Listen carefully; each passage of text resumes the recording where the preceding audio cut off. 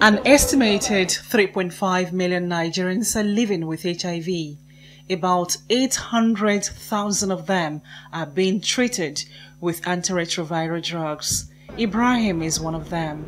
His wife is also HIV positive and they gave birth to a child who is HIV negative. It's not as easy for a serodiscordant couple to get pregnant where one is HIV negative and the other is positive because of the use of condom to prevent transmission of the virus. What I used to give tell them is this: get a new set of syringe, new syringe, remove the not without the needle, remove the stopper during peak ovulation. The man ejaculates into the stopper, close it back, and introduce it into the man, a woman because that woman is HIV positive. So that keeps the man prevented from HIV. And now, that is what the group I call soft discordance. And they were having children. For the hard discordance, these are the group of persons where the man is HIV positive, the woman is negative. And science has told us that the virus, HIV virus, is not in the sperm, it's in the semen. And for this woman to get pregnant, the sperm has to swim out of the semen to impregnate this woman. And how do we do? This woman is prevented from getting HIV. That was the trouble I was for years. Nigeria is currently carrying out a pilot study on pre-exposure prophylaxis PrEP with a drug called Truvada that an HIV negative spouse can take to prevent contracting HIV during unprotected sex with an infected partner. The trial study has been successful in some countries, including Kenya.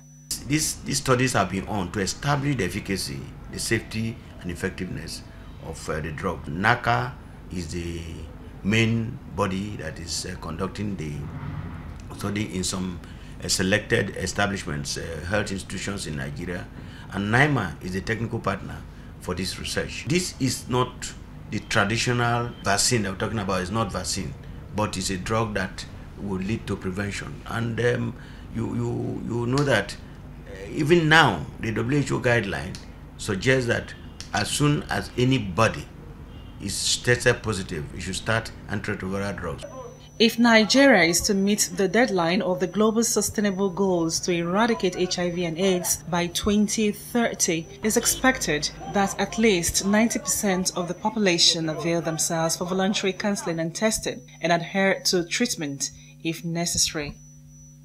We have culture and custom, and at the moment, a lot of superstition. People go to church to pray. We and we are not saying they shouldn't pray, but it is delaying. They can get get to the hospital, get to the health facility, get their antiretroviral drugs, get their um, CD4 monitored, get their viral load monitored, their hematological profile, their biomedical profile, their biochemical profile measured, so that they can continue to live a healthy life, rather than you know going to the babalawos or you go for prayer to prayer houses.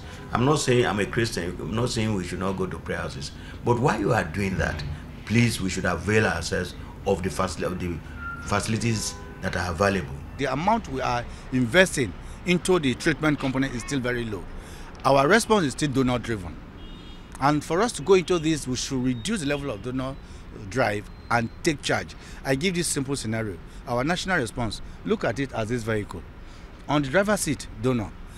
On the front uh, passenger seat, donor. On the back passenger seat, donor. The boot, donor the government is left at the bus stop. The driver the vehicle is driving off. That is the situation we find ourselves now. We want to see where on the driver's seat the government. On the passenger seat in front with the driver government. Then partners can come whether in the back seat or even in the boot or even on the roof for us to have a better country a better national response. More than 34 million people are living with hiv globally Nigeria has the second highest burden of HIV in the world after South Africa.